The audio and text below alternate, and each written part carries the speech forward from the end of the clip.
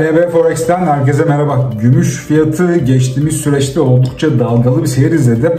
Özellikle geçtiğimiz hafta Amerika'da yaşanan olaylarla da beraber hem siyaset gündeminin hareketli olması hem de bunun 10 yıllık tahvil faizleri üzerindeki yukarı yönlü harekete biraz daha kıymetli madenlerde satış yaşanması neden olmuştu. 28 dolarlara doğru yükselen gümüş fiyatı da bu süreç içerisinde tekrar 24 dolarlara gerilediğini gördük. Şu an için fiyatlar biraz daha 25 dolar 50 sent bölgesini baskı altına almaya başlamış durumda.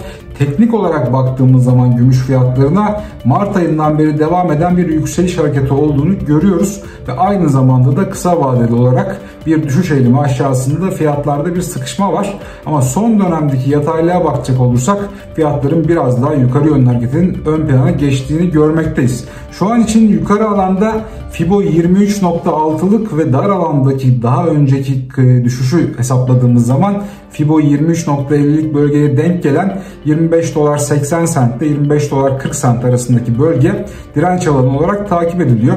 Burası aynı zamanda aylık ortalama fiyatın da bulunduğu seviye. Yani önemli bir direnç noktası 25 dolar 50 sent bölgesi diyebiliriz. Şayet bu seviyenin üzerine geçilirse bir sonraki direnç olarak izleyebileceğimiz alan 26 dolar 80 sent seviyesi olarak gözüküyor.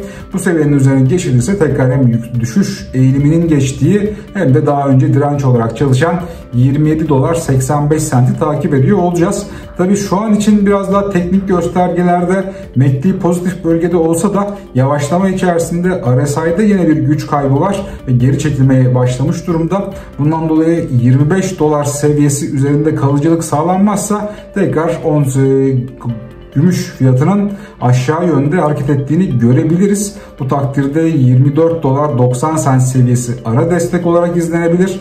Ana destek bölgesi 24 dolar 30 sent seviyelerinde ve buranın da aşağısından geçilirse hem yükseliş eğiliminin geçtiği hem de kısa vadede düşüş içerisinde yapılan hesaplamada 23.6'lık Fibo dilimine denk gelen 23 dolar 75 sent seviyesine destek olarak takip edeceğiz. Buranın aşağısında eğilim değişmeye başlayabilir.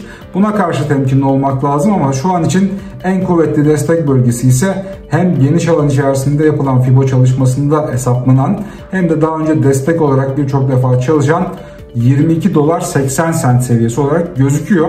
Şu an biraz da harekette kararsızlık söz konusu. Bundan dolayı geri çekilme olursa yükseliş trendi üzerinde bir tutum olacak mı? Ona bakmamız lazım. Yukarı yönlü hareketlerde ise direnç bölgesi üzerinde kalınıp kalınmayacağı izlenmesi gereken bir unsur olarak karşımıza çıkıyor. Gelişmelerin devamıyla ALB Forex ile görüşmek üzere.